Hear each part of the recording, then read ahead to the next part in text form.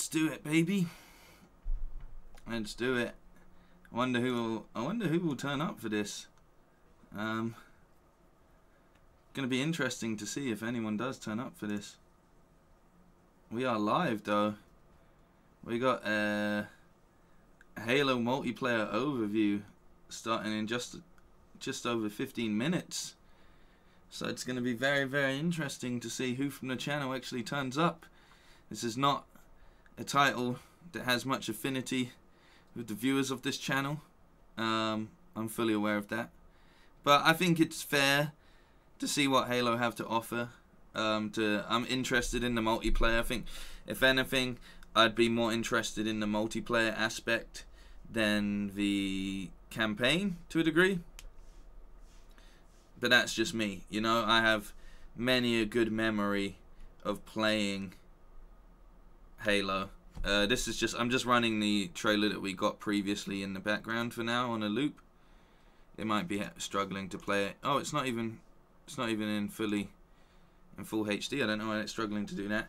Um, but yeah, I think it's fair enough to take a look and see how how the um, multiplayer is going to look they showed us a glimpse of it there, Valhalla, a classic map being reshown, uh, slightly updated, which I'm looking forward to. But yeah, uh, Angel, how you doing? Connor, how you doing? Gregory, I don't know what you said earlier, but I can't read it because it's not in English. Uh, really One Gamer, how you doing? Connor, good to have you, man. Path Gaming, Caesar, Marco, saying me a random. Hey, man, welcome, welcome to this. It should be fun. I, I'm, I have no problem with seeing what what what they're up to with the new Halo game. As I, as I've mentioned multiple times, Halo's a game that I hold pretty close to my heart. Uh, and while I super did enjoy the campaign overall, as I was mentioning a bit yesterday, is it is all about the multiplayer. I think the multiplayer is really where Halo thrived at a time uh, where multiplayer games weren't the biggest thing. You had things like Unreal Tournament, um, you had like glimpses of what COD was going to become. Obviously, more around the time of Halo 3, you actually had Modern Warfare, which was a, a, a very classic sort of um, introduction into what multiplayer gaming's heavily like nowadays. But there was a time where, you know, like Halo really had a great grasp on multiplayer overall, you know? Uh, and while there were other games and stuff, I think Halo really sort of nailed it wasn't too advanced, but it was also like not simple enough. And I think they did a great job with it. You know, uh, as you can sort of see in these little scenes here, I know it's not everyone's cup of tea, but there were some really fun game modes in Halo. Uh, and that, that, that's pretty much what I have to say. That he literally just picked up one of those like fusion battery things with the grapple hook and then threw it at a warthog, which is a pretty cool move because uh, those things explode. So yeah, it'll be interesting to see what they show in this overview, which will start at 4 p.m., which is 10 minutes away. So I want to see some some good work from Halo. You know, I want to see them really understanding that the multiplayer is where a lot of the people that still love the franchise where their heads at and this looks it looks better in this trailer than it did in the stream. I think everything in the stream yesterday was heavily compressed because when we looked at that Battlefield trailer, it just looked glorious in the 4K version, but in the stream it didn't look that impressive at all. Same with Halo, this looks a lot better actually watching it on the uploaded version than the stream version. But yeah, there's something about the combat that was just so enjoyable, man. When you got like you killed like three or four people and came out on top, you really did feel like like the Master Chief. You know, you felt like a god uh, when he started to get those call-outs from the announcers. He's like double kill, triple kill, multi kill, all of that kind of stuff. Um, really, really did make the online element just so much fun. Playing it with friends as well, being in a party, just just so so awesome uh, and great memories. Maybe I have nostalgia glasses on a bit for Halo, but I also don't think I do. I remember playing Halo, uh, the Master Chief collections online not not too long ago, maybe a year ago, for a little bit. I still had it. I was still killing it, you know. Um, it was it was a lot of fun, and I think what they did really well with their playlists is they had a lot of variety and a lot of really fun game modes as well. So yeah, I'm not I'm not exactly mad. It also had uh, customization on the maps and stuff. You could like build your own map. It, like there's loads of cool stuff. There was loads of really cool stuff. So that's why I'm interested in the multiplayer overview today, uh, more than anything. The campaign is like, look, since the since the trilogy, I've not really been as invested in the storyline for the campaign anyway. Uh, so I really couldn't care less. I know for some reason a lot of people are like really holding the campaign to its. Uh, like they need it to be a certain level and stuff for the campaign. But for me, just in the same way that I feel about Battlefield and things like that, like it's about the multiplayer. What made Halo so great was the multiplayer. Yeah, the campaign was epic, but it's you know looking back on it and stuff. I can see why not everyone got invested. There was a lot, especially in the first Halo, second Halo, where it is just corridor, and even going into the third, there's a lot of just corridor combat where you're just going through corridors uh, and thing, you know, like enemies pop out at you and that's that. There wasn't like this whole massive set piece things until like maybe the last level or a couple levels had some decent sort of set piece scenarios, but overall, uh, none of that really mattered because you you wanted to just get in there and battle it out uh, to become the best. Uh, no, it starts at, at 4 o'clock, so we've got 8 minutes to go. Um, and I'm just interested to see. For me as well, because because I'm trying to see, like, where the devs are at, and I think there's devs going to be talking in this. That to me will also let me know if they're in the sort of right right mind frame. Um, yeah, I'm I'm surprised we haven't had a Halo film yet. Uh, screw the campaign multiplayer is where the game shines. Exactly, exactly, like exact exactly that point, man. Uh, it was it was just fun chaos. Uh, and fair a lot of the time. Sometimes you did get absolutely stomped, but the way that it worked with the sort of health and shield combination, um, and the weapons, like there wasn't so much weapons that anyone could sort of dominate the map easily. You just had to actually get good to dominate the map, which I think is something that uh, is a little bit lost in some multiplayers these days. But yeah, Halo had like a really nice balance on it all, and it really did just come down to if you had better reflexes and were, were quicker to the punch and things like that. Uh, it really, it really was a nice sort of balanced online shooter when it came to multiplayer. Uh, you know, um, I ain't paying sixty pound for the next gen price of an FPS with no campaign. Yeah, well, this is the thing. People keep bringing up this point for like things like um, Battlefield and stuff, but it's like, who wants a Battlefield campaign? The only people that complain and use this as like, I'm not gonna get a game because of it doesn't have campaign when the game's predominantly a multiplayer scenario anyway. It's like you just don't enjoy the multiplayer, so so don't get the game anyway. You know, like the campaign is usually second in, in I'd say in these three franchises overall and like COD's had some amazing campaigns and Battlefield's had some decent campaigns. Uh, I don't really have any standouts for Battlefield campaign wise but what you remember from those and same with Halo is like I'm saying is the multiplayer element is is is where it lives and thrives. It's that's the excitement. So I don't expect people that like aren't on board with that multiplayer element to invest in a multiplayer game anyway you know? Um like, it is what it is. But I think people were just using this. Just say you don't like multiplayer. Like, you know, just say you don't enjoy multiplayer. I think people were using the the crutch of being like, it doesn't have a campaign, so I can't enjoy it. It's like, well, no, ultimately, you just don't enjoy multiplayer as a format because if you did, then the price tag wouldn't mean it. Because while you can say that, the campaign may only last 30 hours tops in a good situation like in in a good situation you know? Um but multiplayer can last you years.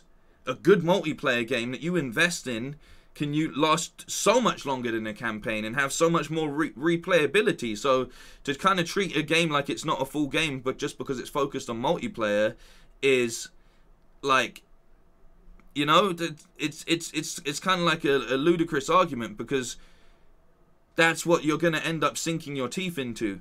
Um, we bought Overwatch for 60 and that had no single player. Yeah, exactly. And Overwatch is a really fun game. And guess what? The campaign elements, when they try and do like, uh, you know, the, um, the little like special events where they make it like PvE, those really aren't that enjoyable because they never designed the game to be in that that situation.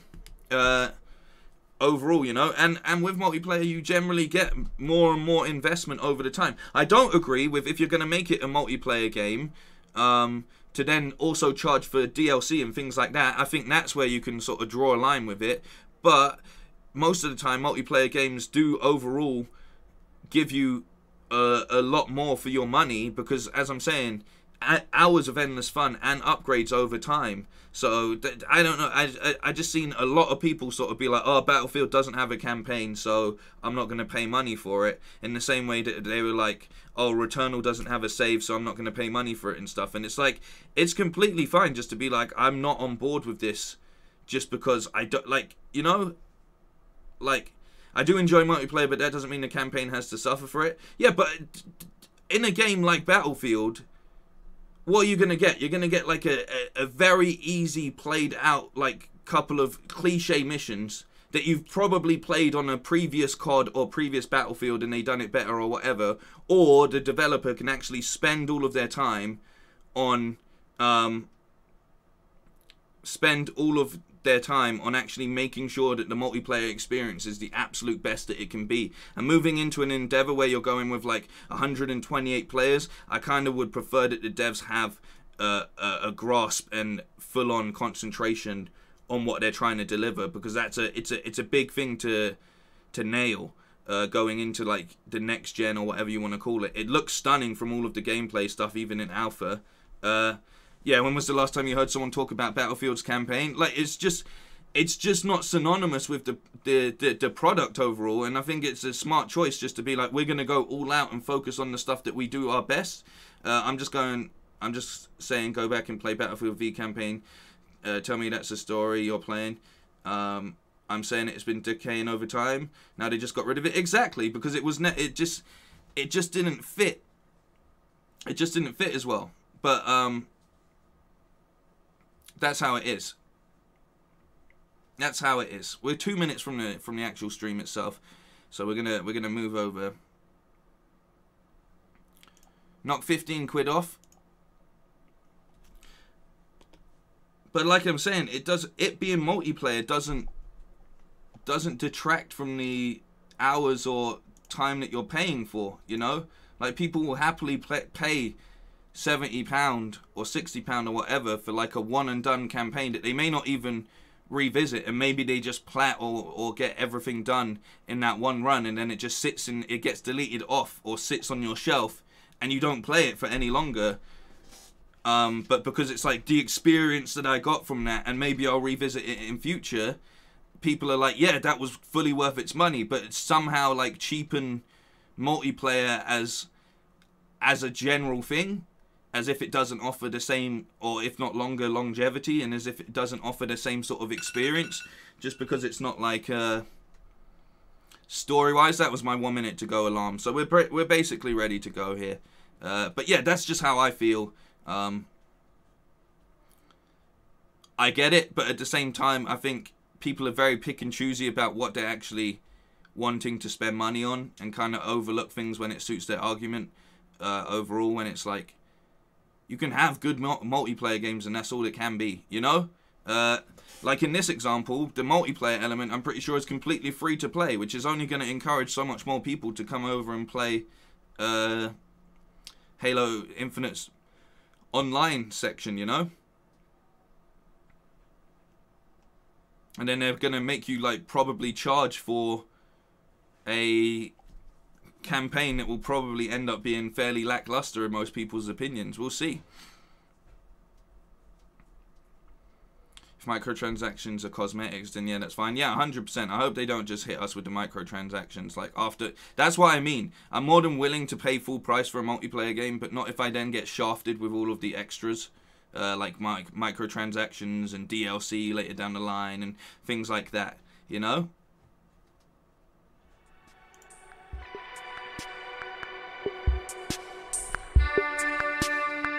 Oh yeah, 100% there's going to be some level of season pass.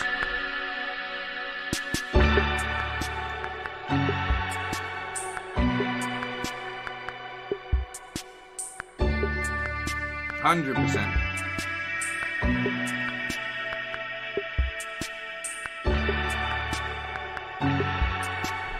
One thing I think I saw about Battlefield as well is that you can play against bots anyway, and it still adds to your progression. So there's your sort of PVE element, you know? there's your your PVE element. This uh, premiere thing's always a lot louder than the rest of the show, so I'm just...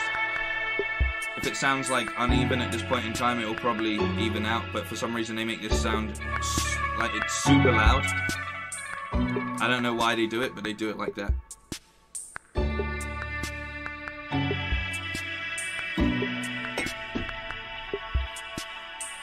Battlefield 1 story was amazing. That was two games ago, so I think they just got lazy.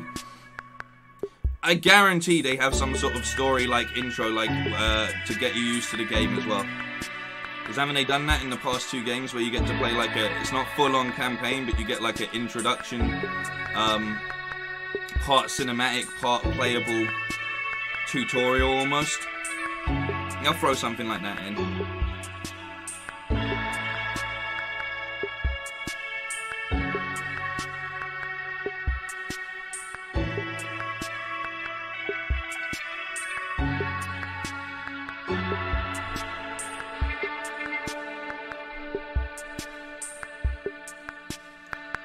Oh.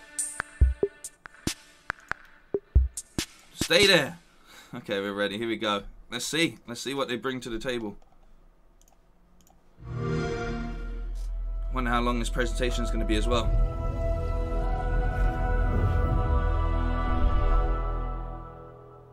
Free for free.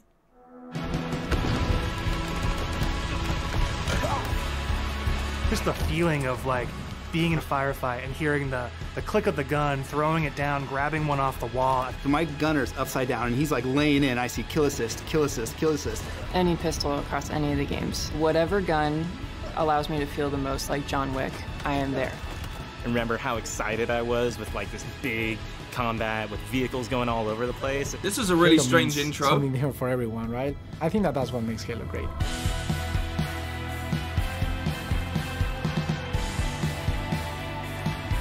Go, baby. Craig's in the chat. What is Halo multiplayer? And for me, it boils down to this tight arena style combat and big team battle, this wide open, vehicle infused uh, kind of combat. We're taking that awesome legacy or classic Halo combat experience and okay. modernizing it in ways that'll feel fresh to old players and really exciting to new players. We're going to give you great ways to customize your Spartan, really make your super soldier your own, and we're kicking off a journey, an experience that's going to evolve month to month, season to season, year after year. Of course, season to season. For me, working through this multiplayer of this game, and the toughest challenge I think was really about how do we respect the legacy of what came before us, but still build something that feels new. We've you don't need to, to make it feel new. You just need to legacy nail and really inject them into Halo Infinite. Not just like in a in a in a way where you kind of won't notice it, where you feel like, oh, they really designed this to be a celebration of previous Halo, as well as an iteration of where Halo can go next.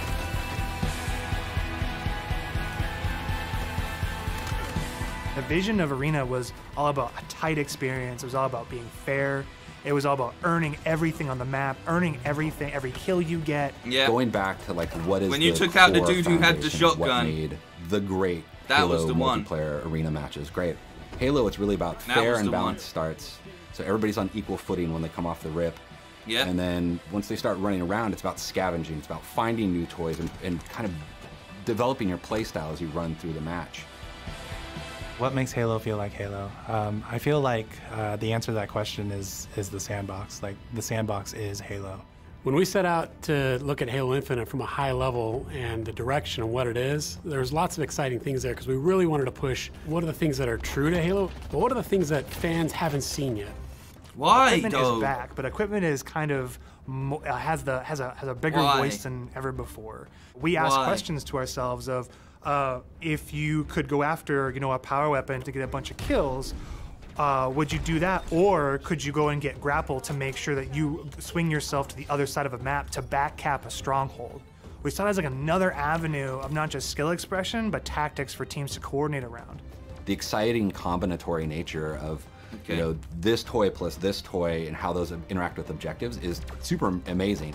Looking at how the power-ups play, like your classic power-ups like the overshield and the active camouflage. For this title, what we're looking at, what we're excited for, is you pick that up and you choose when you activate it. It goes into your inventory. If you haven't used it, They've and changed someone overshield? kills you in multiplayer, you drop that overshield, and then they You can take it, changed use it themselves. overshield? That to me is very legacy, but we took the equipment side of it and modernized it. You when didn't it need comes to do that. the vehicles, we went in and decided to invest a lot in the, the systems. When I take damage in my Warthog, uh, my, my wheels can get blown off, my hood can get blown off. There's different aspects of the vehicle that change how my vehicle handles now. And that's something Okay. that's brand new. The other thing we added to that is like this doomsday mechanic. So when you hit this threshold, the vehicle catches fire, and it's very much you've got a certain amount of health or a certain amount of time, and you got to choose what you want to do with the last minutes of this vehicle. We've got a cousin to the Warthog, which is the Razorback. The back has this like multi-storage compartment that you can put a lot of stuff into. So if you want to put like detached turrets, power weapons, fusion coils, objectives, and that is what's really making uh, the Razorback kick a lot of butt. That's pretty the PM cool, but what the fuck? The levels define pace for the game, how frantic it is, and they define that iconic fantasy for players as they're entering that match. What do they want to do? Um, what type of experience are they hoping to have? What kind of combat, what kind of dance floor is there available to have that combat in? Some For me, questionable BTB choices. is all about experiencing uh, the full extent of the sandbox of Halo in just one match, right? Like you see the vehicles, the weapons, the equipment. we really wanted to take that kind of concept, those feels you had, you know, playing the play, playing the previous games, and just turn the volume up. Vehicles are no longer just spawning at bases anymore. We have pelicans delivering them, and we have a commander in your ear telling you that pelicans are going to be dropping off these vehicles. Scorpion tank is inbound. We have Oh, that's all right. Halo 2 That's not so style. Delta Halo mission weapon pods that fall from the sky to resupply the field. That's where it makes it feel like like a real battlefield, and, and it's very exciting. this is not just more players. This is just this certain beautiful slice of sci-fi chaos.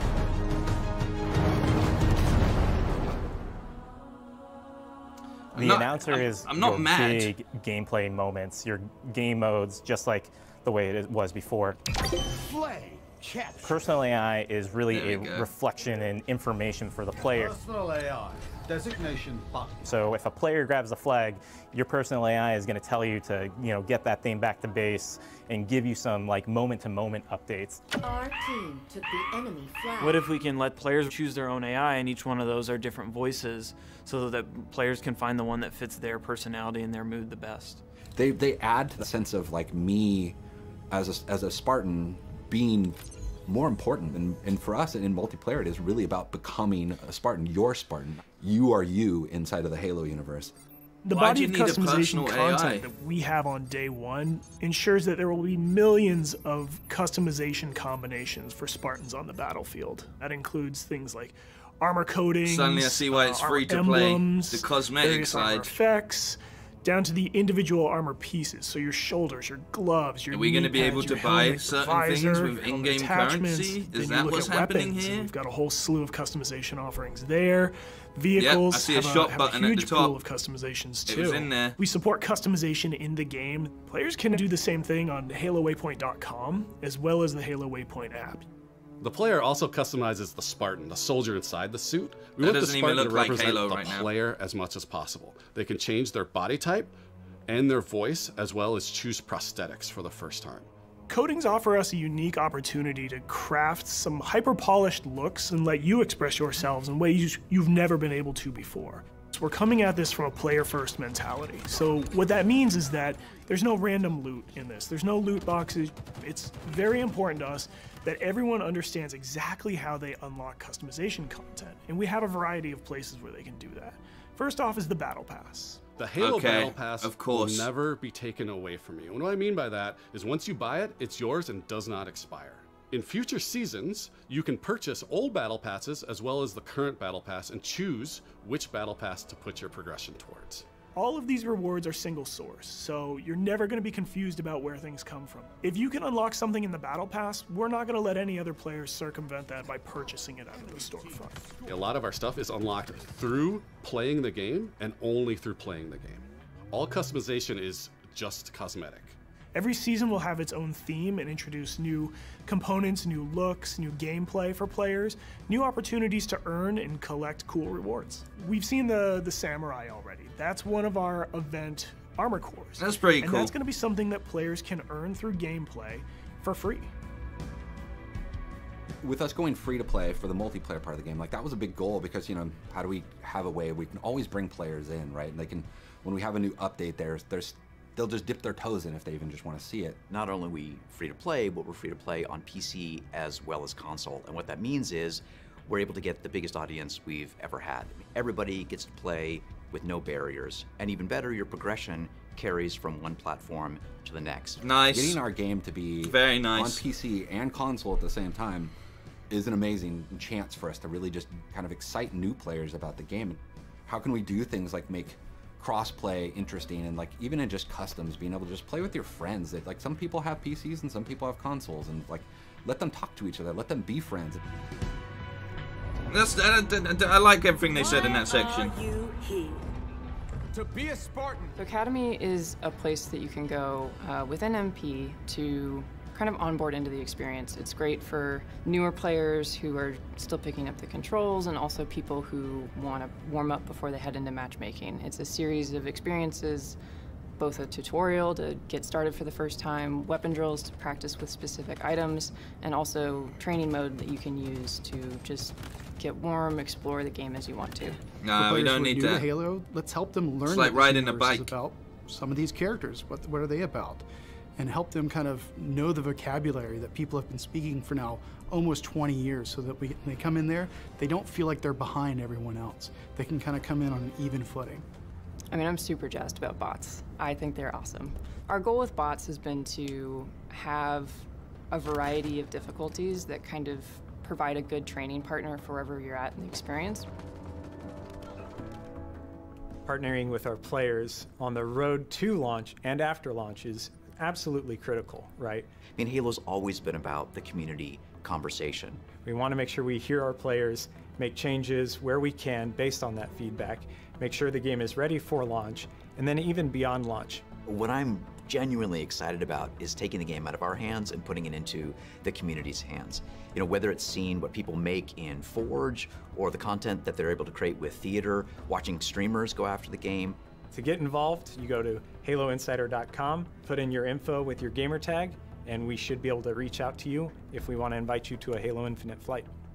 We feel like we've got a pretty good selection at launch and what's going to be there for our fans. And this isn't going to be something that is just a static set of items. We have some new stuff in the works already, and just can't wait to really get into that uh, as soon as this game comes out. New maps, new modes, new ways to customize your Spartan. Launch is just the beginning. Now we're just going to be able to talk, interact more frequently, and that's just going to be great. That is the future of Halo Infinite multiplayer. Thank you to the community for all their feedback over the years so far, and uh, I'm looking forward to the road to launch, launch itself, and beyond. Okay.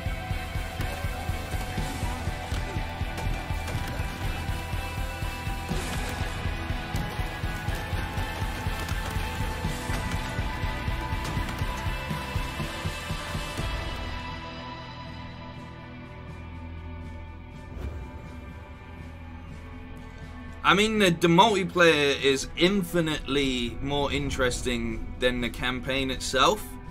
It's how I feel. I don't know about. I don't know what what what, you guys overall sort of um.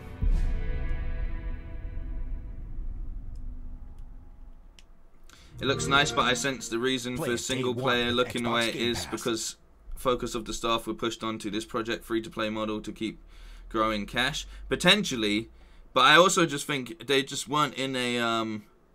They clearly just weren't ready for what they wanted to deliver. It would seem like you know. I I feel like they just weren't ready to sort of deliver Halo Infinite as a thing. Um, by it being pushed back, by the initial response, by where the campaign originally looked like it was at, and people sort of ended up, you know, really um they really sort of what's the word I'm looking for here? Like they thought it was ready when they showed it originally and it just so wasn't ready. I don't know if that's because like you're saying because they pushed it onwards to the free to play element. Um but at the same time apart from them saying that they've changed some fundamentals, which I'm just like, well, why have you done that? It looks completely like it's it's it's gonna do what it needs to do, which in my opinion is in 2021 give people a chunk of that uh, nostalgia or people that enjoyed the franchise. I think it looks like on the multiplayer side of things, it's gonna deliver. It's like if this was 20 12, it would look interesting. Remember, Battlefield 3 came out in 2011 and it looked way better than this. But you're thinking about this is the thing that I don't understand. You're thinking about this in as Battlefield versus Halo, in as you've already made a choice and prefer Battlefield as a franchise and what that has to offer in the multiplayer space. Halo versus Battlefield is two offering two completely different things. Halo's always been like an arcadey kind of shooter. It's always had that more Unreal tournament kind of feel to it, uh, and it's always had that sort of like like there's no super technical elements to playing Halo uh, overall. Like all of the guns don't have a zoom apart from like two, which is the sniper and the uh, battle rifle, and the carbine if you pick up the carbine as well. But overall, it's never been in the same sort of realm as an online shooter as Battlefield anyway. In the same way that Battlefield delivers a completely different experience to playing Call of Duty. Like, while they may be in similar realms with some of the aesthetics that they've done over time, but what you get from playing Battlefield is completely different to what you get from playing COD, and what you get from playing Halo is completely different to both of those. In the same way that Overwatch is completely different to all three of them as well. There's similarities between Overwatch and Halo, more so just because a lot of it you have guns which are really just quite simple in their delivery and stuff. But it's all about the spaces that they sit in. And as far as like a Halo multiplayer game, this pretty much ticks most of the boxes that people that enjoy Halo multiplayer are going to want from a Halo game. And on top of that, it's free to play, which means it will also offer an extension for more people to play it. Uh, that's how I'm looking at it, and that's that's that's pretty much what it is. Not everything exists in this plane where it goes head to head to head. Like you have to. It, it's if that. This is the thing that I think a lot of people don't seem to understand about basic business and marketing and etc. etc. Like if that was the case, right? There would only ever be one version of everything. You'd only have one pair of shoes that you buy. You'd only have one product when it comes to food. Like the whole point is things sit in different spaces and still all generate revenue in different ways. That's what business essentially is, you know? Like, they're not here to be like, at, at, no point are they like, we're to take, um, we're gonna we're here to like take away from the Call of Duty audience or whatever like that, or take away from them. Like that's not the aim. The aim is for them to deliver a game that's gonna work on the fan base that they've built up, as they mentioned, for over 20 years. You know, that's a lot of people to accumulate from that time. So, as far as a Halo game, the things that I don't agree with, in part, uh, slightly, a the cosmetics look like it gets to the point where you're not even running around as a Spartan, but that is what it is. It's understandable that they're going to do this um, sort of situation because they need to make more money, uh, basically through the battle pass and things like that. Um, and then the other side of it is changing some of the fundamentals. I didn't like that there seemed to be a, a, bigger push on vehicles. Like vehicles have always been quite secondary and only part of a big team battle overall. Sometimes you do get a few vehicles. I liked it when you had like the quad bike because that wasn't like a massively over the top vehicle that sat on most maps, even smaller maps. But there does seem to be quite a bit of focus on vehicles on the whole in this, or at least in the way they were talking. So it'll be interesting but i think what's more is like i wasn't the biggest fan of equipment but it seems like they've heavily lent into even more equipment and things like timing your your um your shield, uh, your overshield, and things like that really do suddenly change the momentum. Part of the having the overshield was the fact that you would only get it the second you activated it, and you'd have to go and make an invincible run with it activated. Now, while the overshield is still going to be timed, being able to choose when you want to activate it will definitely change that sort of uh, pressure that came with just running into it and knowing you could only use it for a certain amount of time. So things like that with the uh, equipment itself is a little bit shaky, uh, in my opinion. But I'm not. It's not like something I'm super mad at. I did like a lot of their thinking towards their delivery. I like the fact that they've made it crossplay uh, for at least their platforms, and the fact that you can take that progression over, so you can play on whatever you want to, depending on how you feel, and you can still be connected to friends. Uh,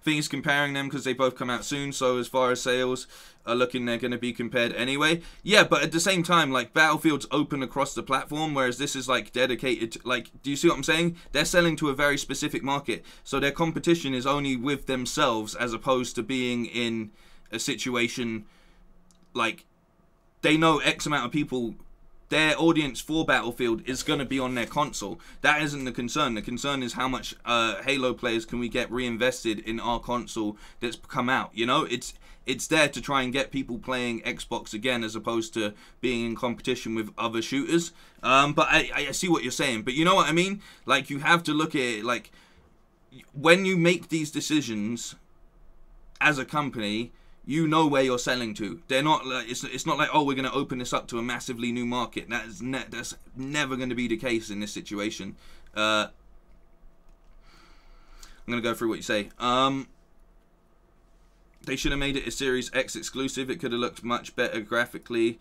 Uh, they are good, but not next gen. Yeah, it doesn't look next gen, which is a, a massive shame. It feels like it's being held back in a part, which is annoying. Um, but at the same time, like I said, I just don't think they're in. A, in a, I don't think a lot of the companies that that Microsoft have are really in a place to nail the next gen look currently because everything that comes out looks shaky, which is just a, a, a general concern. Um, I fully agree, but we've got to remember the numbers of people that have Series X's is still low due to stock, so that was never an option. Yeah, well, this is the other thing. We're in this like cross point where it is. Uh, it's a little bit. It's a little bit shaky uh, for everything. Yeah, but I don't think it's only about Halo. They want to slot in with Destiny and COD and all the season pass games. They can stretch it out, uh, stretch out that mode for years. But yeah, like the same time, they're still like you can still play Halo now, like all like an uh, a culmination or whatever the fuck the word is of all of the previous game modes and stuff in the Master Chief Collection. So like it is very much.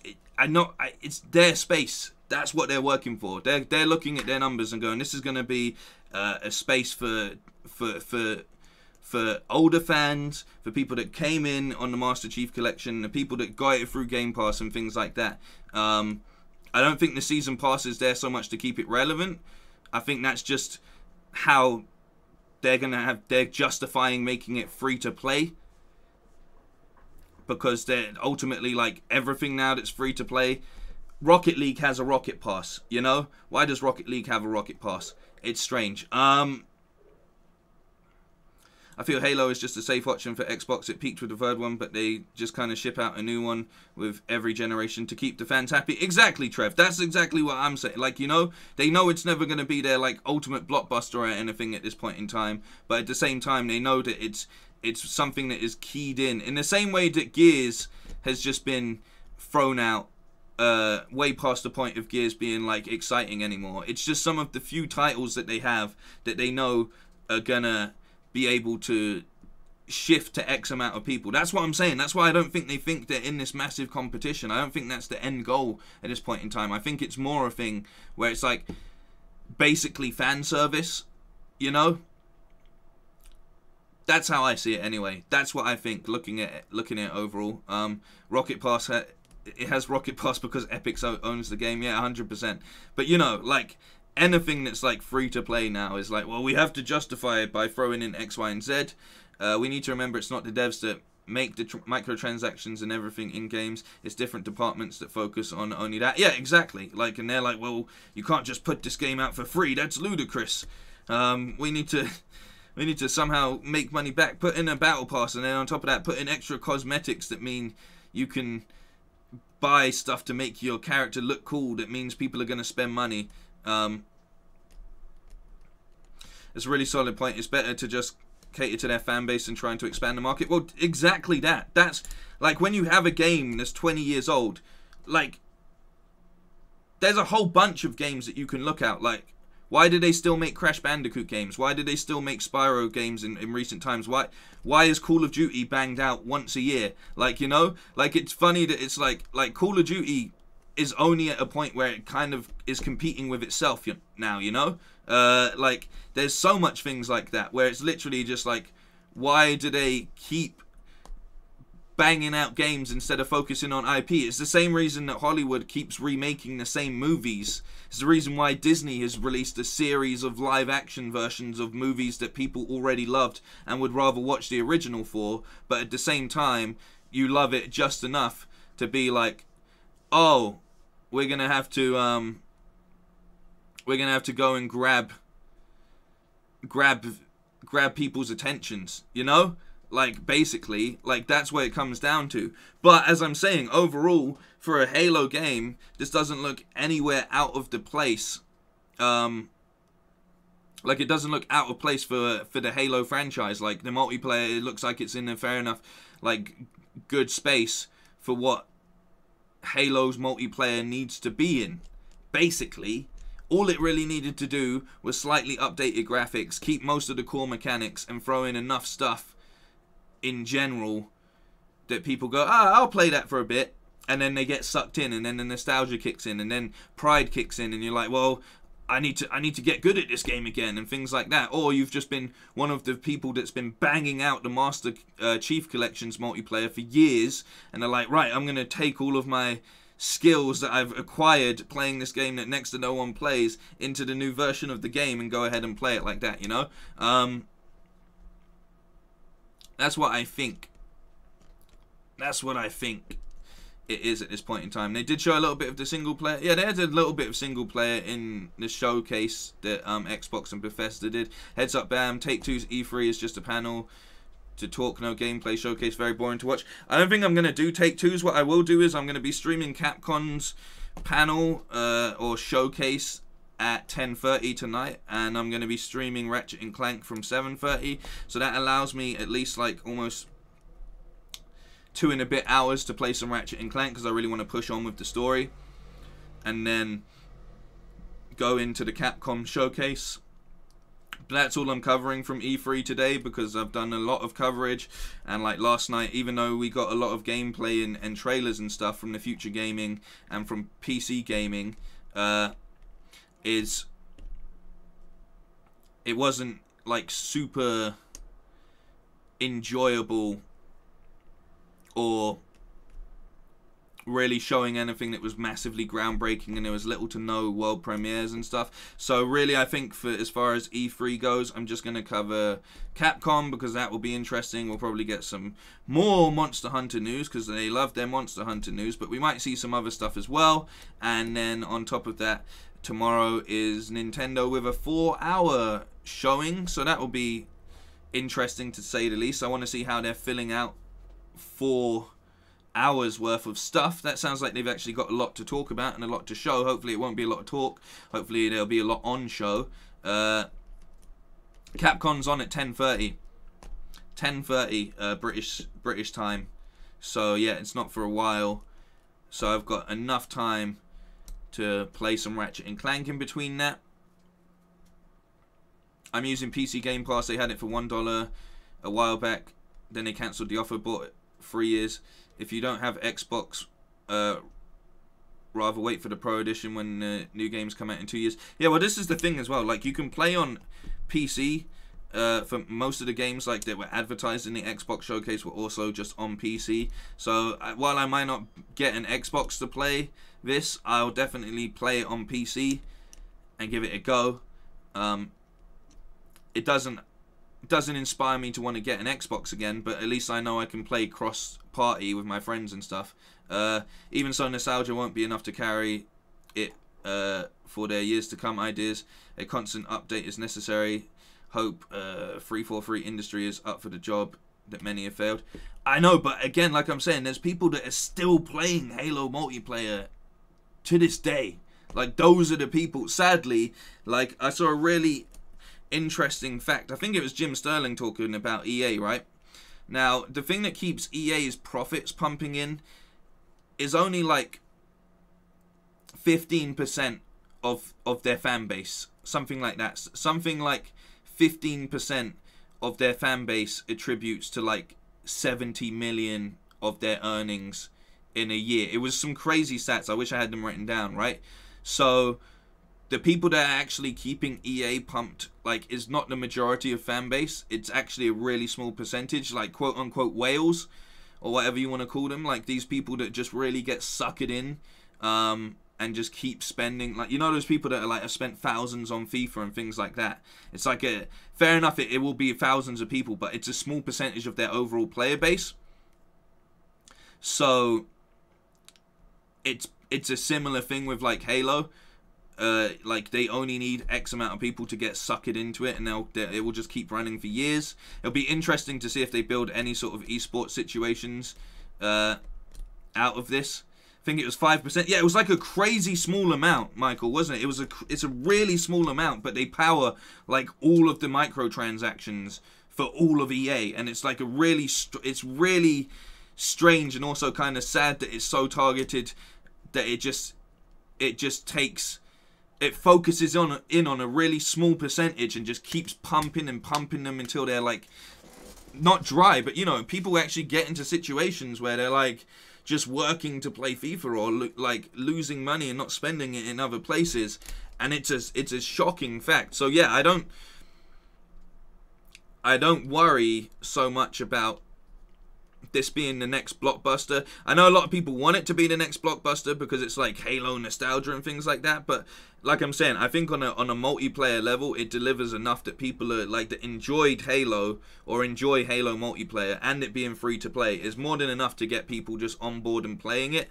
Uh, but we'll see, we'll see, we will see. Like valid points, yeah, you're always gonna get the people, but this is it. You're you're always gonna have and account for those people that are going to be back like the, the people that play cod exclusively are like the people that play fifa exclusively. The people that enjoy battlefield exclusively are the ones that do that. The people that are still playing fortnite great example are the ones that are still stuck on that. People that play might like you know like all of these games have such a big foothold in the industry that they they know what they're selling to.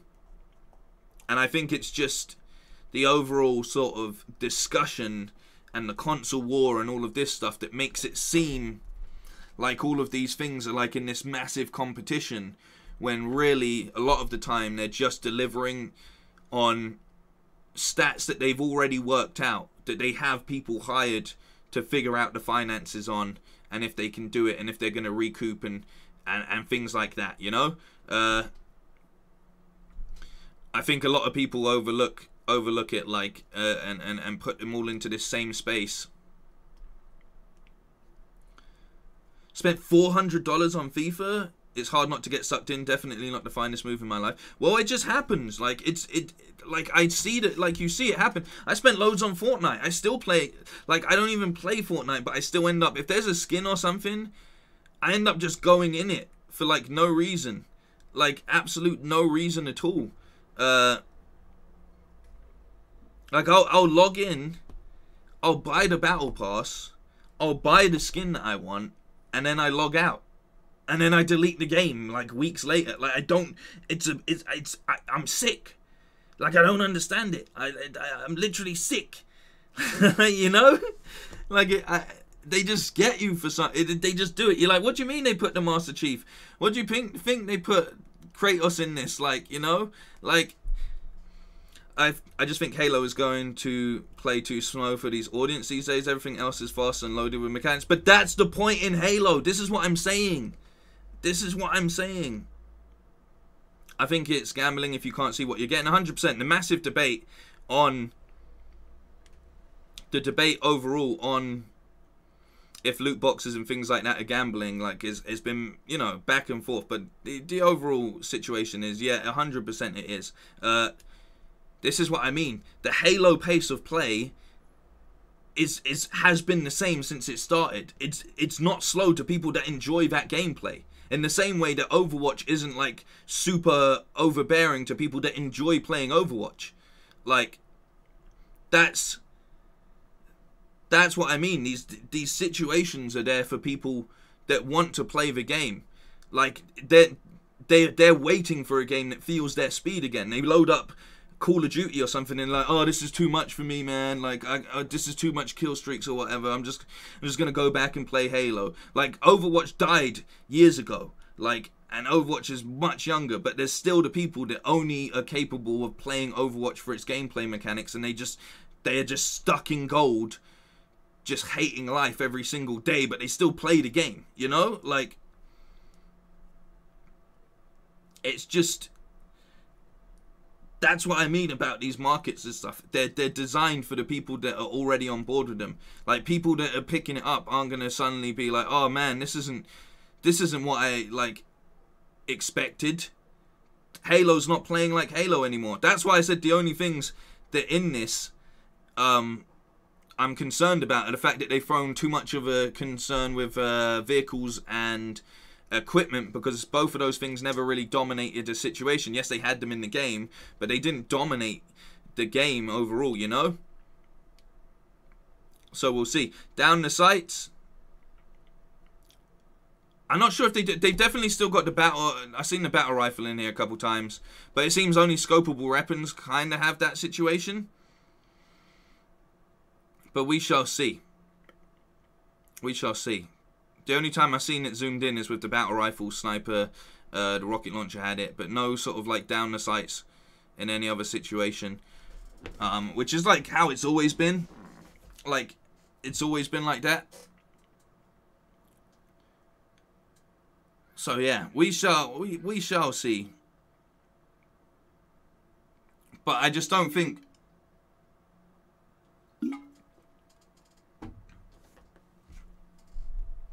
I don't think people that are buying a Halo game to play a Halo game are going to be concerned with things about uh,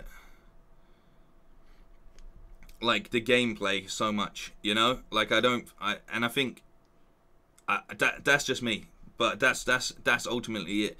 You you're not picking up a, a, a Halo game because you want it to play like other shooters. You're picking it up because you, you're fond of what they do with their sort of approach to it. Because there's a whole bunch of stuff that ultimately can be jarring if you're not used to how Halo plays. Like even when I play, like played it last year, I was like, wait, what the fuck? Like because I was so used to aiming down the sights and stuff, or playing it like playing the game like COD or Battlefield, and then I suddenly remembered that I'm playing Halo, and I'm just like, oh yeah, this is it. And then you just get back into the pace of it, and it just works. Like it's such a smooth shooter for what it needs to be, but we'll see. Um, I wash my hands of FIFA even as a game it's so poor mechanically. Love football but hate FIFA. I'm surprised they didn't put out a FIFA Euros game. Like that seems like something that EA would 100% do, but I'm assuming did they work it somehow into like um into all of their things? Like have have they just worked it into their current package anyway somehow? I, I feel like that's probably what they do. How come people are complaining about Sony charging uh, exclusive games for 70, but EA is charging that for Battlefield. Well, people are complaining about Battlefield as well. Like people, people are massively complaining about ba Battlefield for some reason. Like people are, are mad at, at Battlefield because it doesn't have a campaign, but um, Paradox saying you don't understand how big Battlefield 2042 will be is is going to be. They put all of their money into multiplayer, so it's going to be worth it. Exactly. That's what I was saying at the start. Like, like, it's just people just pick and choose their arguments for the argument's sake a lot of the time. It's like, oh, it doesn't have a campaign, so I'm not gonna I'm not gonna get the same level of quality or enjoyment out of it because of that. Which, okay, if you enjoy narrative games, then yeah, fair enough. But if you enjoy multiplayer games, like what what do you want? From that. You're gonna get like if if the game has just been invested in in the multiplayer element. Well, guess what? It's probably going to be an awesome multiplayer, and you're going to get loads of hours out of it, and you're going to get a different experience, but you're still going to get an experience worth paying full price for overall. You know, uh, like at least with Battlefield, I feel we'll see. But Battlefield is Battlefield. If there's one thing that I'd say it does well is experience. Like there's there's few games where like you're like, oh, the, the, I killed someone with the destructive environment and things like that. Like you know, or like I took out that tank. Like there's so much moments in Battlefield that make it really really a spectacle uh, and and enjoyable to play. Which again is is completely different to like the parallels of what I enjoy Halo with, which is like Halo is very much reminiscent of that sort of Unreal Tournament feeling. Smaller maps, intense. You die, you go again. You do the best you can, or you dominate the map. Like a, it's it's it's a completely different. Like COD is kind of arcadey, but COD doesn't feel as arcadey in that sense. Like COD sort of like a weird mix of like realism with arcade, but like the feeling in Halo is just it's just you're in this small stupid world where you're just this default almost doom guy but you're not right? You're just a default player and you just get in there and you do what you can with your team and you hope you win. You know obviously you don't hope you win you play to win and stuff but it's very like the pacing on it's completely different even though it, it's it's it's just being trapped in. Uh it's very it's very like sort of like um a fight to the like team deathmatch is just a fight to the death I love the moments in Battlefield 1 where we're hiding in the building and a tank literally took the building down with us in. Yeah, exactly. Like all of those moments. I showed one of those on stream recently where I was I was sniping from one part. No, I wasn't even sniping because I had my assault stuff. I was in the building and then I realized that there's a dude above me. And so I just got my anti-tank gun out and shot the rooftop. The roof comes down with the guy. The guy falls down to the ground. The debris lands on him. He dies at the bottom in front of me. It's beautiful. Like those moments, you you can't compare. You can't compare. You know. Wonder who will have uh, more player base this winter, Battlefield or Halo? Well, Battlefield in in theory should do because one, you're supporting 128 players per match. Two, it's across every single platform, both next and current gen. And three, Halo's only out on like yeah PC, but PC's not going to be the boost for it. Like Battlefield is across the board, you know. COD feels like Battlefield with the training wheels. Well, COD's just like super arcadey. Like COD, like not super arcadey, but you know what I mean. Like even when they've tried to throw in their Battlefield uh, copycat mode where they've got like big domination with five points and stuff, it just doesn't capture the same level of like scale. I think that's the best way to describe Battlefield is scale of like the scale of warfare is just you can't beat it, man. You actually can't beat it. And now with playing with so much more players, it's going to be very interesting to say the least. Playing with 128, 64 man to a team uh, is is a very impressive, very very impressive scenario. Um, big fan of these shooters. Big fan of these shooters are deeply embedded in uh, what they find familiar, enjoy to the point where even if their latest game is bad, it's still better to them than good than a good game from another series. Well, that's what I mean. People pick their. That's it. Once they've made their decision, a lot of the time, that's that's what I'm saying. That's what these companies are selling to. They sell to their their little tribe. COD is just following trends now. They used to be the trendsetters. That's a good way of, of, of putting it across as well. Uh, that's a very good way of putting it across. Um, it's still funny that Xbox fans think their showcase was outstanding, though. It really wasn't. Like, it really wasn't. And I don't understand why they didn't include this in their showcase. They had 90 minutes, and they should have put all of this multiplayer detail stuff in their showcase. Uh, speaking of other things that really didn't do well, I'm still annoyed that I've not been able to kill Chaos yet because the demo for Stranger in Paradise is just not working. I think that's very very annoying. Um, I'm up, I'm upset about that. If I'm being being honest with you, pretty upset about that. Uh, what do you think uh, Battlefield gameplay is telling the truth about what you can do in it? I mean, I have no reason to not take everything that we've seen in the alpha footage at face value. You know, like it doesn't seem like they're pulling any punches. Everything in that.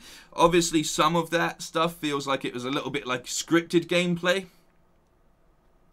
but at the same time, it didn't. Um, like all of the things they showed you are, are, are things that you you're used to in in a battlefield matchup anyway. You know. The install is chaos itself. Uh, yeah, hundred percent. It wasn't bad, but it wasn't great. Yeah, it wasn't. It, it, it wasn't enough to like sing sing home about or whatever like you know like it wasn't it wasn't the kind of showcase that you can be like yeah we fucking we we did it boys we we won E3 you know it wasn't it wasn't that in any shape or form at all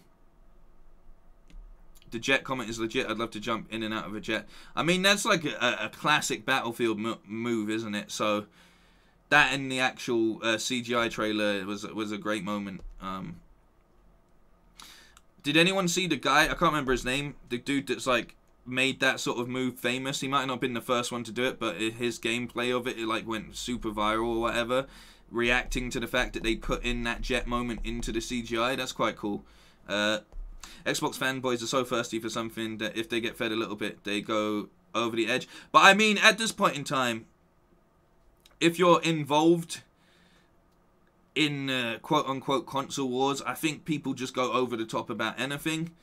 And I think more realistic, like just general. I want to call. Uh, what do you call non console war fans? There we go, Resdenzuk. There we go.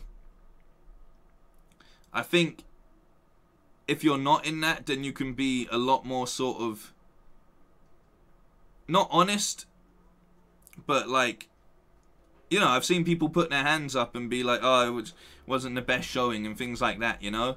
But I am excited about X, Y, and Z and things like there's.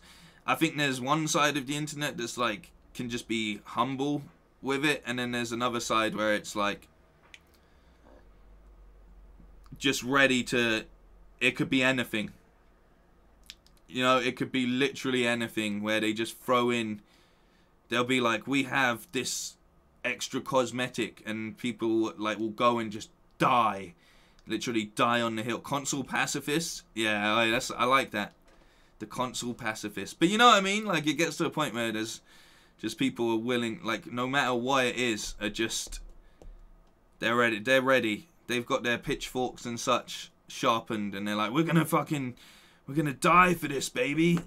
like, uh, and, uh, uh, but I think, yeah, I think that just comes massively into it. Like, you should be able to look at it and go, sheep. Yeah, I mean, people are sheep to a degree, but, you know, like, there's things I liked about this. There's things that I don't like about this. I don't like how it looks. I think it should look a lot better. I don't like the fact that they've messed around with the equipment and stuff. Um, do I think this is going to win any sort of multiplayer game of the year situations? No. Do I think it's going to deliver for people that are fans of the franchise? Yes. You know, it's just being able to look at what you want from a situation and be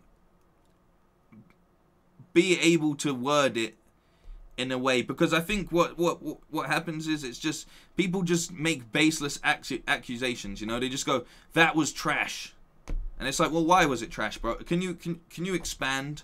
You know, or are you just saying you're just you're just going with a bunch of buzzwords that people have, uh, and no actual opinion, you know, like you should be able to like critically look at things and uh, and have an informed piece of an opinion on it. But people just go, no, it's shit. No, your console's trash. You're you're a trash gamer because you play on this console. You're whack. Blah blah blah. It looked terrible. Blah like you know like it's just like the same sort of dialogue that keeps getting repeated over and over. When you should be able to look at things critically because that's how you you make decisions as a human being. But I could be wrong, you know. Uh, I could be completely wrong. Feels like 500 million is is a bit too much for what we're looking at. Yeah, hundred percent. Like it, I don't know where it's gone because it's not gone into. It's not gone into the marketing, you know, and it's not clearly not gone into all of the elements that have put this game together. But then at the same time, when you consider that this is coming out for free, maybe part of that 500 million is just to cover costs that they're not going to make back. I don't know. We'll see. Uh, but yeah, it doesn't look like quality, which is a shame. Like it should look really, really good. Uh, I even sometimes crash my jet and the enemy follows it to the. you bait them in. Yeah, smart. Rarely do I find people who are good at vehicles except tanks. Yeah, people in tanks are just like.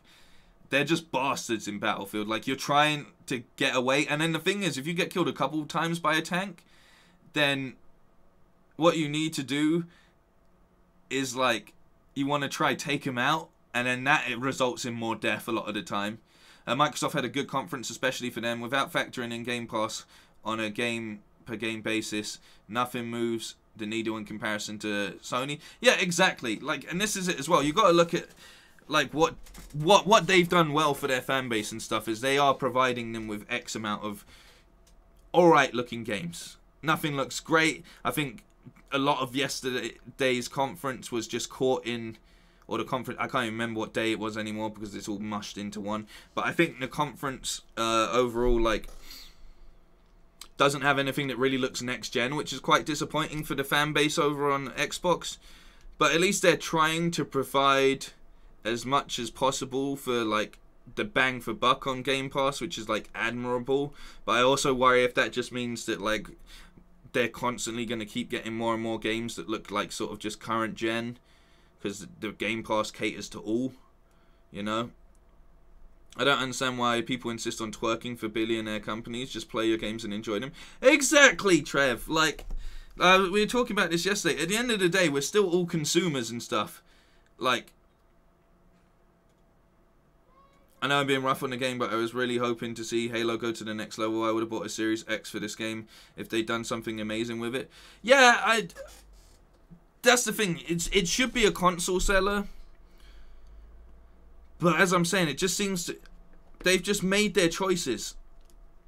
It just seems like they've just made their choices, and they're just like, we're just gonna sell to our like you know, sadly, like the EA method, where it's like, I'm just gonna sell to people I know that are gonna buy our stuff, which is I don't agree with because it's like you know they're not trying to push out and get new fans.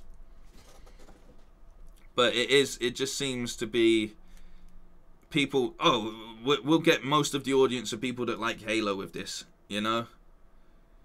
So it's it's it's it's it's sad. I really hope we do see the Switch Pro tomorrow. I feel like that would be a big win for so, uh, Sony for Nintendo. It put them in a in a better place. It put them closer to Sony than uh, Microsoft currently is, because like you know, at least they have a good array of overall um, IP. Like I think Nintendo have really good do a good job on IP, and that's not just in their sort of um, in their games, but also in their innovation with the way that they do things with their consoles as well. So hopefully we'll see a Switch Pro. That would be awesome. Um, like Kid Smooth, if you guys know everyone knows Kid Smooth in recent times. He's done enough to rile up all of the Sony heads and the ponies and everything. Uh, I, I think he's he's he's become quite synonymous with the current. He's like definitely in it. If you're if you're talking console wars, like he's definitely like a commander, in he? He's up there. He's he's a higher ranking culprit in the console wars. Uh, he believes he is Microsoft. He is Xbox. Yeah, exactly. Like he's he is general Xbox. You know. Um, if they get a good Metacritic score, he believes he scored that score like he made the game. Yeah, it's just it's just it's just crazy. I've been a Sony fan since PS1, but I'll be buying a Series X for Game Pass. Well, this is the thing that I said. The smart move about subscription gaming is it's not just a Game Pass. You can also get a package that includes paying off the Series X as well. So for for a lot of people, that's that's that's a mass appealing. You know, you can't deny that. Like that's a big appeal to people, especially as I've said previously, for parents in a situation where their kid wants a console, it's a lot easier to buy the console on finance as well as pay off the like they get all of the games through the game pass as well like it's a it's a it's a part of the market that they're aiming for which makes sense um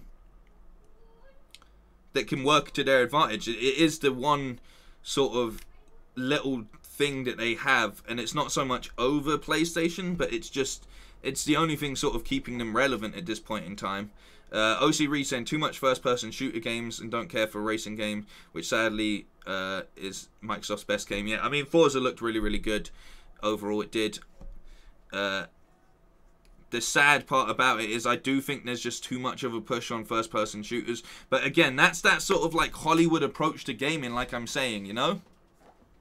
Is uh it's like oh, the biggest games in recent recent past 10 years or things like that has been first person shooters or they're looking like at the older market the games that really busted open gaming have been like first person shooters. So they're like well we have to keep producing first person shooters and it's it's one of those things that's always going to get greenlit. When you take it to someone they go okay yeah well, tell us about this game and they go oh well it's um post-apocalyptic world and they go um, okay okay uh, that's a safe bet. Yep uh, if you look at games that have been successful most of them have fallen into either sci-fi fantasy or you know like post-apocalyptic fantasy. That that sounds good to me. Uh, what what do you do in this world? Well you sort of scavenge for materials ammo and other such things and upgrades. Okay yeah that sounds Yep, that that's the sort of RPG kind of element that we, that, that we need in games nowadays. Okay, cool, cool, cool. Uh, and uh, how do we take out enemies? Will be kind of like alien or like zombie type things, like infected people. Yeah, yeah, that sounds that sounds pretty good to me as well. That's uh, that, that seems to check out. And um, how do we kill these people? Well, uh, you have a gun. You have an array of guns overall uh, and you can upgrade these guns sometimes and get different ammos and attachments for them. And you just kind of have a gun and you just shoot them all. And they go, oh, so it's a first person apocalyptic survival shooter with maybe zombies or aliens. And they go, they go, yeah, yeah, yeah, yeah, yeah, actually, that's what it is. And they go, you know what? Here's, here's, here's a couple million. Go and make your game, sir. We'll put it on the Game Pass you know, like, and that's it. That it happens so much. It happens so so so much overall. Like so so so much. Um, sounds unique. Ubisoft furiously scribbling down notes as Pam speaks. You know what I mean? Like it's just it's just exactly what they do, man. It's they do it so much. Why did Phil Spencer think claim it uh, what did you think of Phil Spencer claiming Xbox puts out their highest quality games on the market? I think Phil Spencer is probably high on his own supply and is just not the greatest. Like I, you know what, you know what, I this okay. I feel Phil Spencer and his dream for what he wants is very, very, very different to what Microsoft executives and such want from gaming. You know? I think I think that's what it is. Massive. I think that's what happens. So he goes out to these conferences and he says all this stuff and feels like fighting the good fight on behalf of his his people and his developers and everything.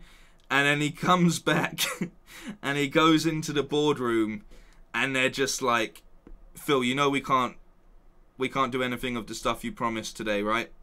And he's like, I know, but I just want to give him hope. And he's like, but you know we don't give a fuck about anything you say.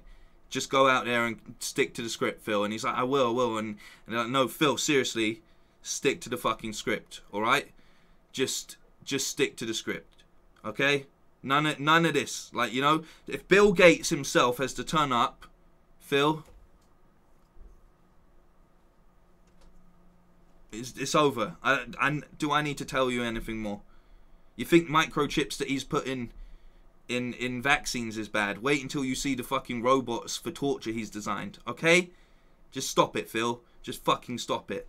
Like, I just think I just think it's just all gas, and he just promises, and he thinks if he can save his stuff, then people will like look cotton onto it and and they'll start promote promoting it and they'll be all like yeah, this sounds really good for the future of Xbox. And then he can go back into the boardroom and be like, but people like my ideas, so we should do them, right? And they're like, Phil, what have I told you? What have I told you?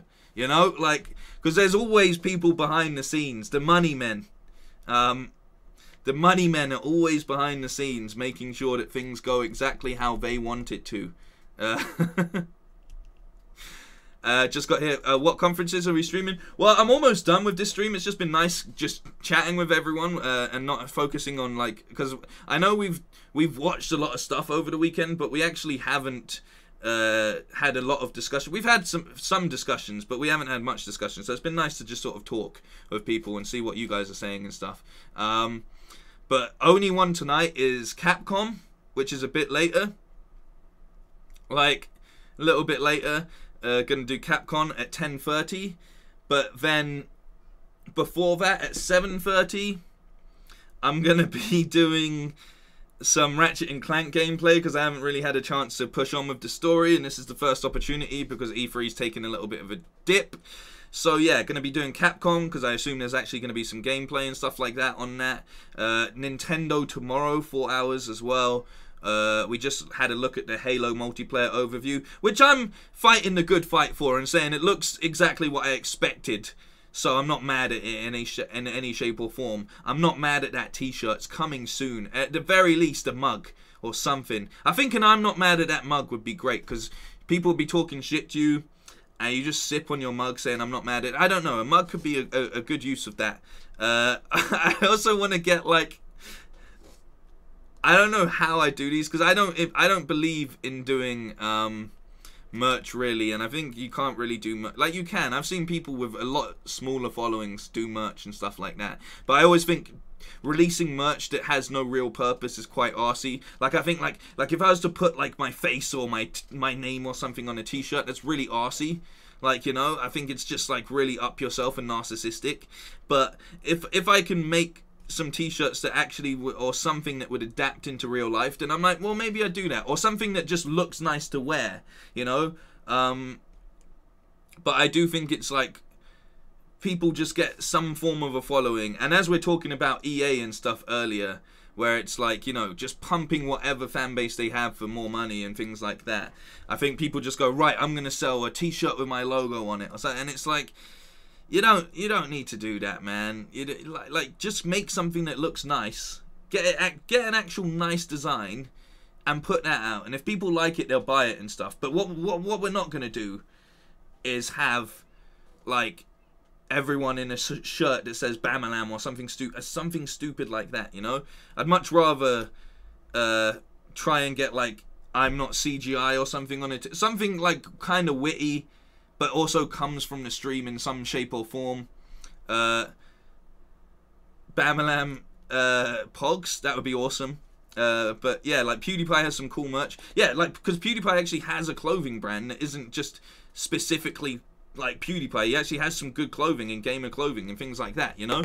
So I think if I was ever to do that, I'd really want to work on something that, that, that, that, I would buy myself and B fits into the world of fashion in some shape or form, you know. But you know, like maybe some I'm not mad at that mugs or something like that would be would be cool.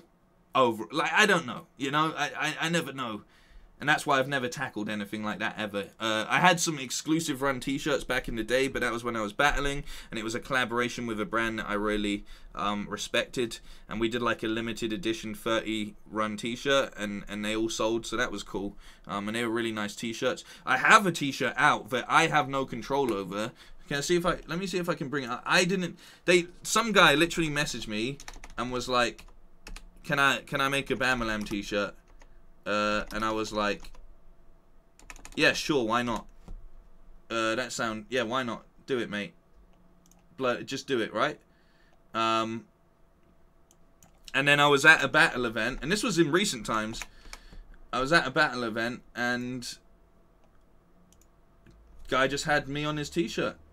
Just had my, like, not even my face. It, uh, how do I find it? How do I find it?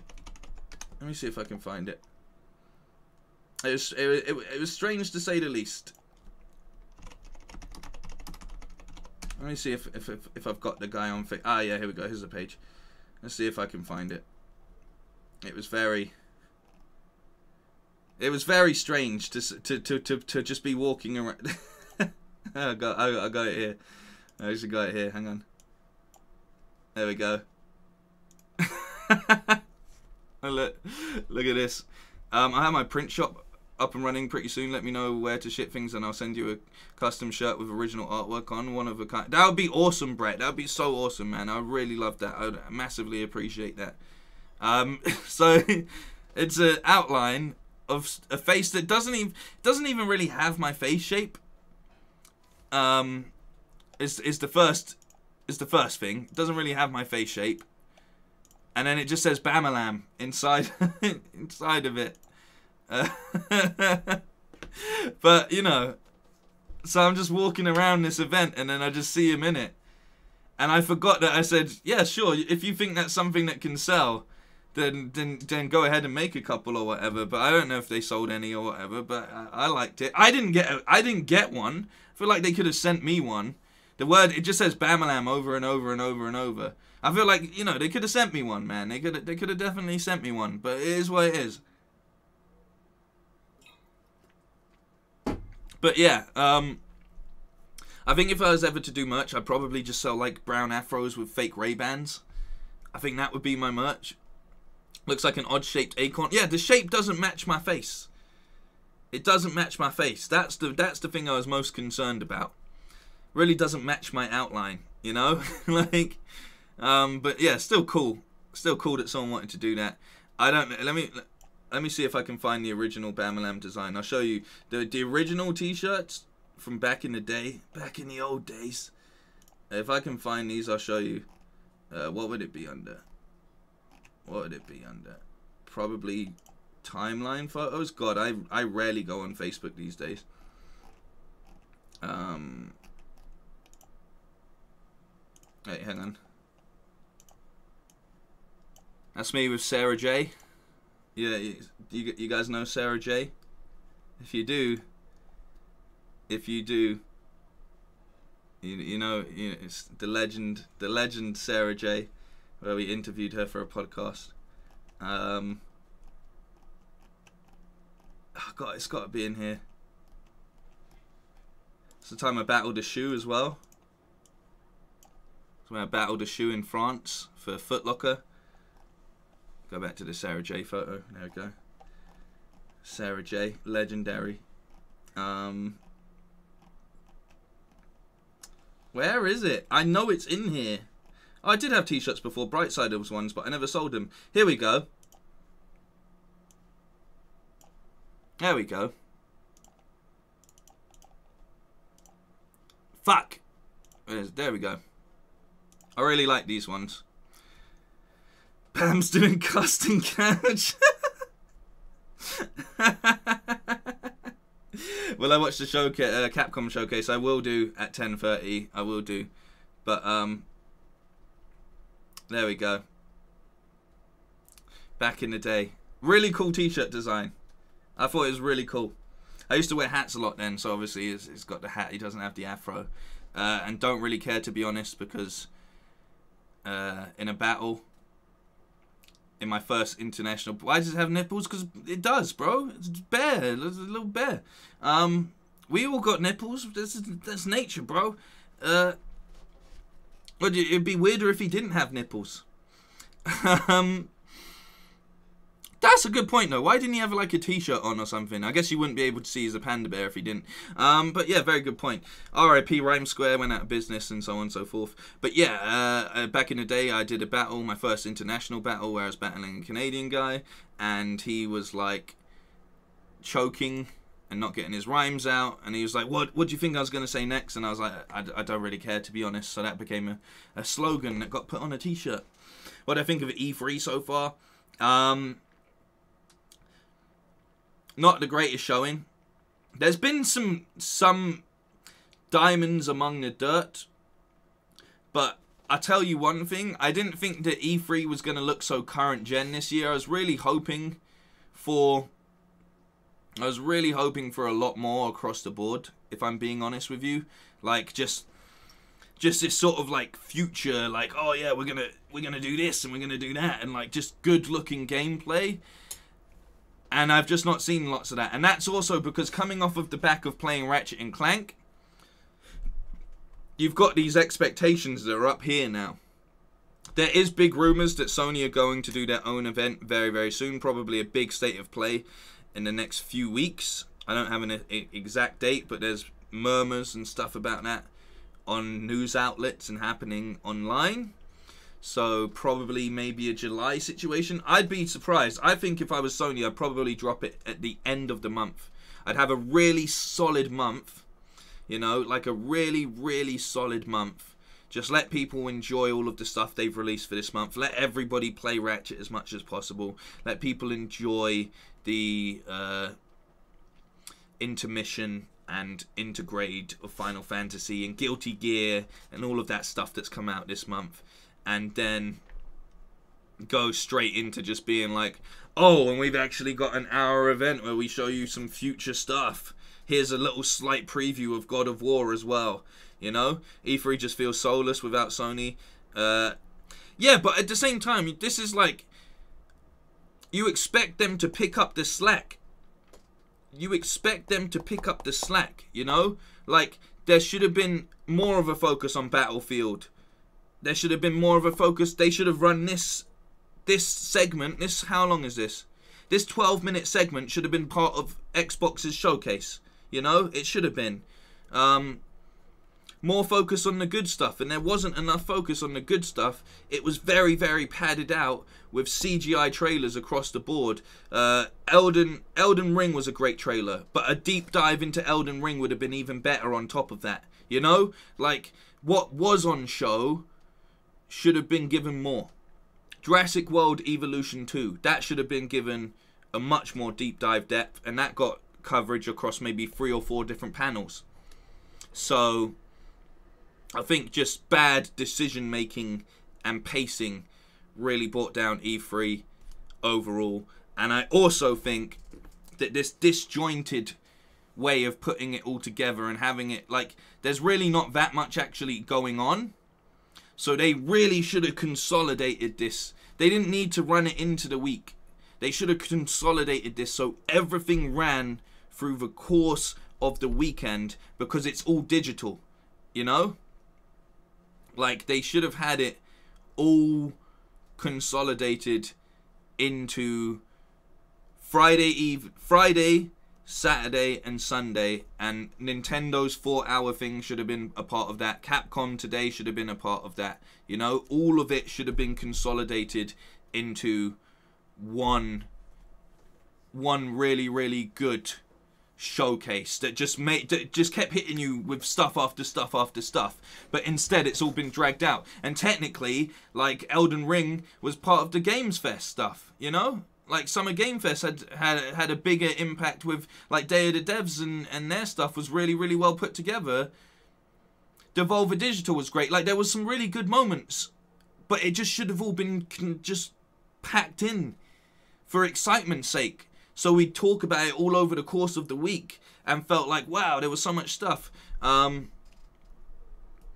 oh, and Bandai as well. Bandai's got something tomorrow as well. So, so yeah, like throwing in all of that kind of stuff would have just made sense.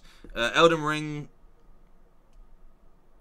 only being a CGI trailer. No, there was elements of gameplay in that. I'm pretty sure there were there was some gameplay elements thrown in there, just like sprinkled in. What do I expect from Take Two Interactive? Uh, nothing really. I haven't looked at any. I haven't pre- prepared anything for that, so I have little to no opinion. Um, and someone said that their thing's just going to be mainly talking, so I'm like, all right, we can skip that. I'm not really down with the talking conferences.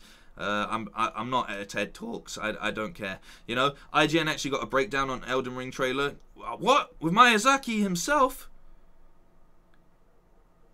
Alright, that's pretty cool. But you know, all of this stuff should have been included into a consolidated, really good showing. Uh, I'm just pointing out that Abscess is more notable and brings down brings the whole thing down. Yeah, I mean, I I, I agree with that as well.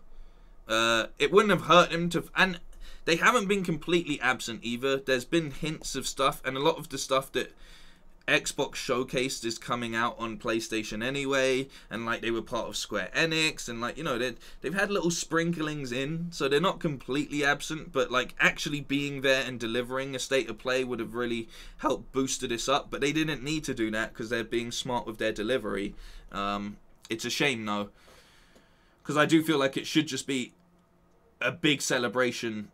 And with it being digital this year, completely digital, it wouldn't have been hard for anyone to just throw something in, you know. But yeah, as I said, I think the biggest problem has been the overall scheduling and uh, the lack of next gen feeling stuff overall, which is which is a, a, a shame. In three years, I think Geoff's conference overtakes E3. Well, yeah, I, I, I kind of agree with you, and they were kind of strange with their dealing of Geoff as well because they didn't approve him as a co-stream for E3 itself, but they approved loads of other create like other random creators, which is a little bit shady, but also not super shady. But um, yeah, I can see Summer Game Fest. If Summer Game Fest collaborates heavily with IGN's uh, Summer of Gaming, and together they can muscle out E3 quite heavily. And if they can get Sony on board for Summer Game Fest, then yeah, they can easily swallow E3 in a matter of years. Especially with things now being pushed heavily into the online space. What Geoff's and everyone, uh, Geoff's team and everyone did at the Game Awards in general last year was deliver solid showcases uh, completely digitally and remotely. Uh, and obviously, when we get back up to conferences being a thing, cons, whatever you want to call them, uh, being a thing, then yes, maybe there'll be some more excitement and such like that. But I'm not. I'm not mad with it being digital, having been in England, you know, because we can't. I can't attend an E3 easily anyway. So I just wish they had put it all into one nice accessible thing for everybody around the world, uh, which is kind of what the future of gaming should be anyway, you know? I think these uh, fully prepared presentations, like Devolver Digital, I know like they have a history of putting on a show at E3, but they put on an even greater show being able to pre-produce it, you know? Like the pre-production value of what they put together was really fun and exciting, and I think State of Plays have really shown how easy it is to put together a good hour-long presentation that doesn't get boring or stale, really. So, yeah. It's not been the best showing, but we've made the most out of it, and I'm really appreciative for everyone that's joined me for any elements of this. Uh, I just feel like they should have done a better job in places, you know. So we will we will see. I'm gonna leave it here because I'm gonna go sort out my dinner. I'm streaming at 7:30, so I've only got like two hours to go.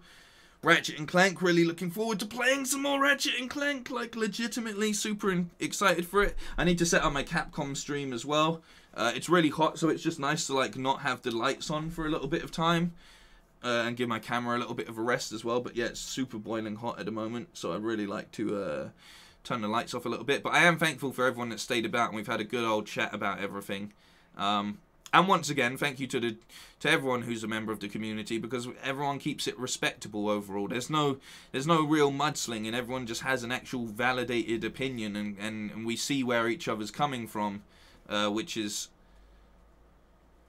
which is really important, you know. Um, and it's good to have these dialogues where it's not like any one-sided opinion. It's everyone's disagreeing but not arguing and, and throwing what they feel into it and I think that's really important. I think that's something that that needs to be here, you know? We need more of that in general in this point in time because I think I think ultimately a lot of people have got so used to being alone in the past year and a half uh, that they forget how to speak to people especially when it's operating through a screen. you know? Like so it's nice to actually have these uh, genuine conversations and discussions. So there we go. Uh, multinational companies, I've moved on, they have enough muscle to stand on their own. Decisions have to be made in the context of listening to the consumer more after all we play the games. Yeah, 100%. And I think I think as we move into this more digital age, you definitely are seeing a bit more of a back and forth dialogue between creators of the games and the audience like influences definitely play a part in this now. I think if that wasn't the case, then we wouldn't have games being pushed back and and you know changes being made because people realize that they can actually push the schedule back if it means that they can work on stuff that people are giving feedback on. That's why I'm annoyed about this Stranger in Paradise demo not working because they actually want to put a an open feedback on Pa- Stranger in Paradise for the fans, and yet the demo's not working. So that's annoying. Thank you all. I might even go find an ice cream. Uh, you're all lovely. You're all lovely. Great people. I'll catch you in a couple hours for some Ratchet and Clank, hopefully. Take it easy.